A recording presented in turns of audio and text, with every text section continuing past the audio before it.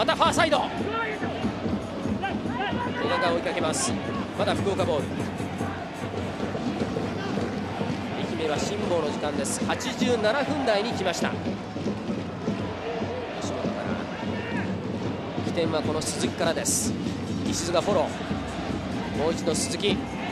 あ中が空いていますがその中行きました。